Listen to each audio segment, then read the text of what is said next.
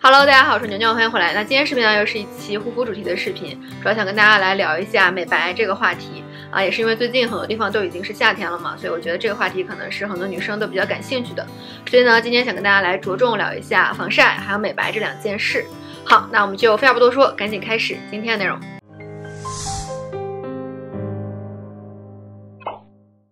那今天视频呢会分成以下的几个部分。第一部分呢就是晒黑的原理，到底为什么我们会晒黑？到底有哪些不好的生活习惯或者是外在因素可以导致我们晒黑？第二部分呢就是美白的原理。那在晒黑之后呢，我们应该采取什么样的方法能够有效的美白？那市面上的一些美白精华，它们的原理和作用到底是什么？接下来第三部分呢就是关于美白的一些问题的汇总，主要是想回答一些可能比较常见的关于美白的一些问题吧。那第四部分也是最后一部分呢，就是身体美白，还想分享一些我自己尝试过的，我觉得对于美白比较有用的技巧和生活的小的经验。然后因为今天的内容也很多嘛，所以我就把我想说的东西我给打印出来了，就防止我说着说着就忘掉这样子。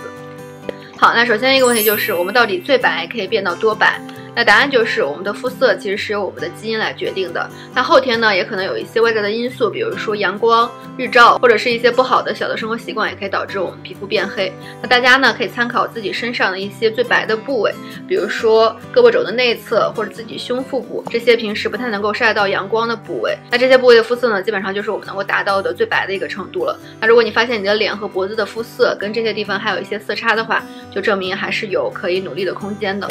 好，那接下来第二个问题呢，也是我们第一部分的核心问题，就是我们的皮肤到底为什么会变黑？那我们皮肤变黑的一个原因，简单说起来是这样子的，就由于阳光中的紫外线或者是其他的一些外在原因的激发，会导致我们皮肤基底的黑色素细胞在某些生物酶的催化作用下形成黑色素。那这些黑色素呢，会经由代谢，会被慢慢运送到我们皮肤表层的角质层，然后逐渐沉积，会导致我们的皮肤看起来变黑。那黑色素本身呢，它是一个光的强吸收体，就基本上能够吸收百分之九十九点九以上的紫外线，就防止我们的皮肤受到损伤。所以呢，黑色素可以说是我们人体的一个自我防御机制的产物吧。那再打一个比方，就我们都知道强光对于眼睛是有伤害的，它会刺激我们的眼角膜。所以呢，有的时候我们为了保护眼睛，就会戴上一副墨镜。那黑色素在这里呢，就相当于是我们皮肤的墨镜。那这里有一点需要大家注意的就是，可以让我们皮肤变黑的光呢，是紫外线，就是我们肉眼不可见的。那所以我们可以看得到的可见光，对我们的皮肤是没有任何的伤害的。那到这里呢，可能有些同学会有一些疑问，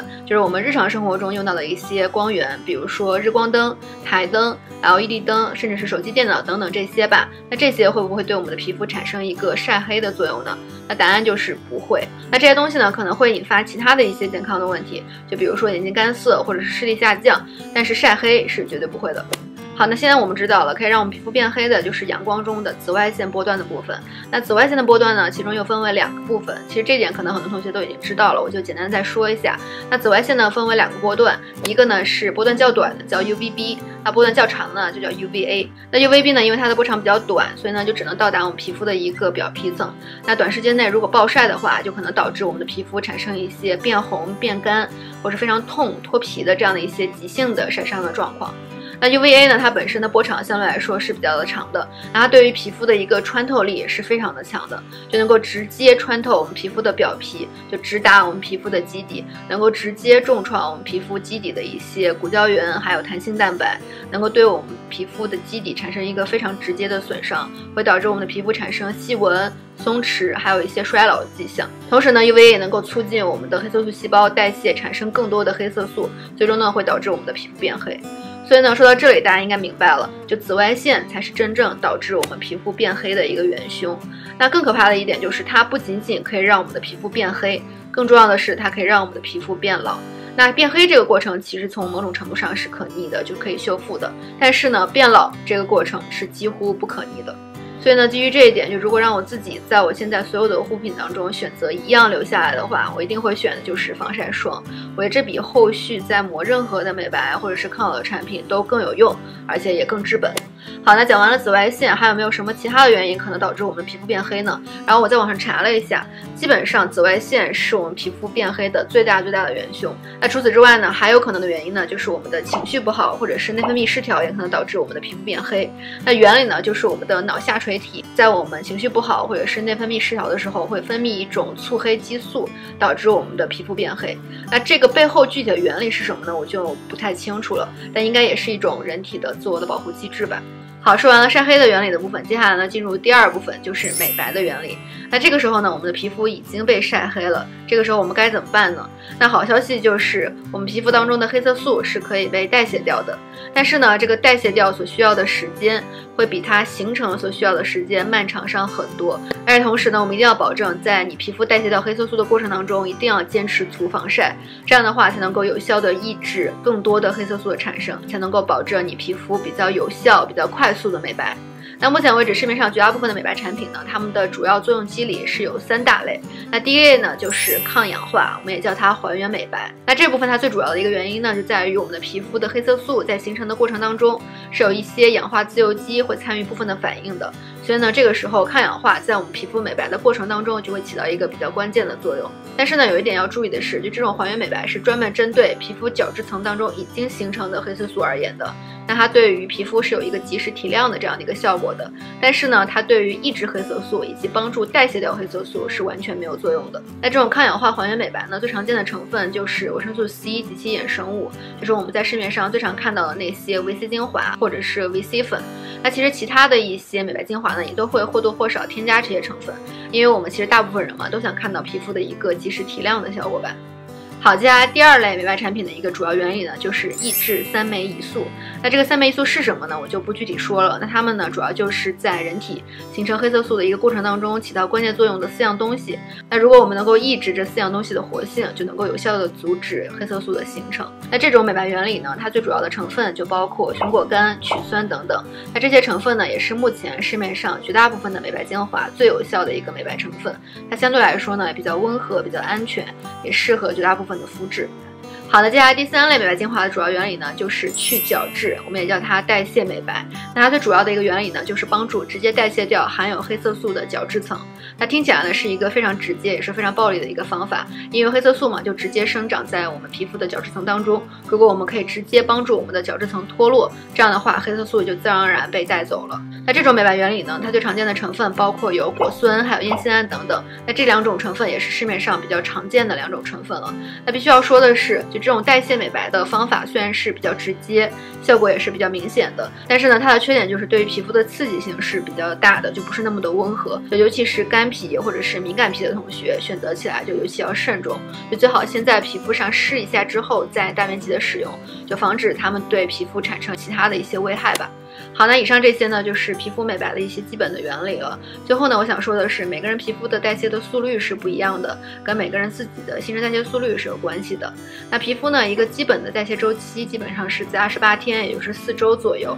所以呢，大家如果想要急速美白，基本上是完全不可能的。所以呢，就大家不要心急，就也不要因为短时间内看不到美白的效果就放弃这样子。然后就是在美白精华的选择上呢，我尽量还是会选择日期比较新鲜一些的美白精华，这样的话就能够保证里面成分的活性。那尤其是 VC 或者是衍生物这些类似的成分吧，就随着日期的增加，它们的活性会慢慢的减弱。所以呢，如果是日期不新鲜的精华，相当于买回来是没有效果的了。那另外呢，我还会研究一下这瓶美白精华里面的有效成分到底是什么，就我的皮肤到底适不适合它，这样的话才能够保证这瓶精华买回来对于我来说才是真正有效的。好。好，那接下来呢，就是一些关于美白的问题的汇总，就可能我觉得大家会比较感兴趣的一些问题吧，我集中收集了一下来集中回答一下。那第一个问题呢，就是到底该如何有效的美白？那我总结了一下，主要就是以下的这些。那首先呢，就是最重要一点就是防晒。那第二点呢，就是如果万一被晒伤了，要及时的做好晒后的修复。那第三点呢，就是要持续的抑制黑色素的形成。这个时候呢，就可能需要用一些美白精华，其中呢有一些抑制黑色素持续形成的这样的一些成分。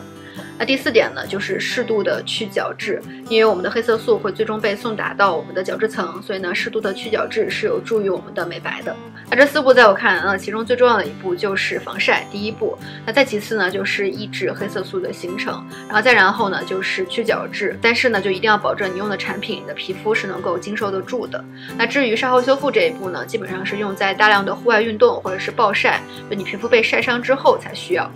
好的，接下来第二个问题就是多喝牛奶可以让我变白吗？答案就是不能。并不是说你吃白的东西就可以让你的皮肤变白，那同理也不是说你吃黑的东西，比如说可乐、酱油这些颜色比较深的东西就可以让你的皮肤变黑，这些说法都是完全没有依据可言的。那晒黑的原理呢？我在之前已经跟大家仔细的说过了。好，接下来第三个问题就是为什么我的美白有时候感觉遇到了瓶颈期？那可能的原因呢，总共是有三个。那第一个可能的原因呢，就是我之前提到过的，就是你在美白的过程当中没有持续的好好的用防晒。那这个呢，就相当于你的皮肤在代谢掉黑色素的过程当中，又有不断的新的黑色素的形成。那这就相当于你的泳池在放水的过程当中，又有不断的新水注入进来。这样的话，你的泳池的水就永远不可能空掉。那第二个可能原因呢，我之前已经提到过了，就是我们的皮肤有一个代谢的周期，就基本上是在二十八天左右。那我们的皮肤呢，形成黑色素其实是非常的快的，基本上一到两天吧，你就会发现自己已经晒黑了。但是呢，要把这些黑色素完全代谢掉，是需要一个挺长长的过程的，所以呢，大家还是多一些耐心。好，那第三点可能的原因呢，就是你的美白精华已经失效了。我之前已经提到了，就大家尽量还是选择一些日期比较新鲜的精华，这样的话才能够保证你的美白精华的有效性。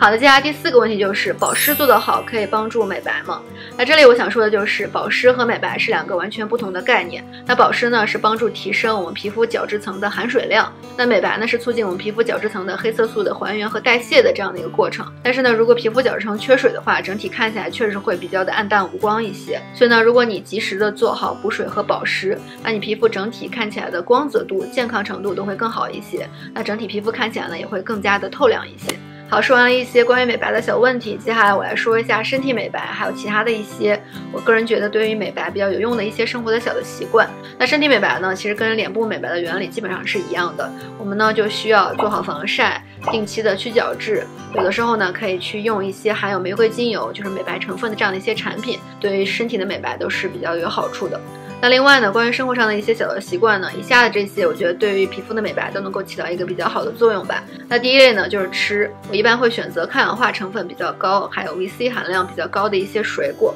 那包括有猕猴桃、蓝莓、樱桃、柠檬等等这些吧，它们对于皮肤都能够起到一个比较好的帮助。那除了吃之外呢，就是运动，因为运动嘛可以帮助你提升整体的一个新陈代谢的速率，能够帮助你更快的代谢掉皮肤当中的黑色素，这样的话你的皮肤就能够在一个尽可能。能快的时间之内恢复到一个比较好的状态，就整体的气色啊、精神也会看起来更好一些。除了吃和运动之外呢，最重要的一点就是要早睡早起，保持一个比较好的心情。我在最一开始也说了，就是如果你心情不好的话，大脑的下垂体会分泌一种粗黑的激素，这样的话会让你整体的皮肤看起来比较的暗淡无光一些。所以呢，就大家尽量保持一个好的作息，保持一个好的心情，这样的话对于你整体的身体状态还有你的皮肤状况都是非常的有帮助的。好，那视频的最后呢，我来总结一下吧。那美白的原理呢，总结下来就是两个方面。第一点就是做好防晒，那这一点呢，主要是抑制黑色素形成的这样的一个过程。第二点呢，就是用好美白精华，那这一点呢，主要是在黑色素已经形成之后，对黑色素的一个代谢的这样的一个过程。那做好这两点的同时呢，再保持一个好的作息啊，好的生活习惯，好的心情，那基本上呢，就能够起到一个比较好的这样的一个效果了。好，那今天内容差不多就到这里了。那今天视频呢，我会把它的内容整理成一个非常详细的图文版，发在我的微信公众号上。大家如果感兴趣的话，可以去看一下。好，那今天内容就到这里喽，我们下期视频再见，拜拜。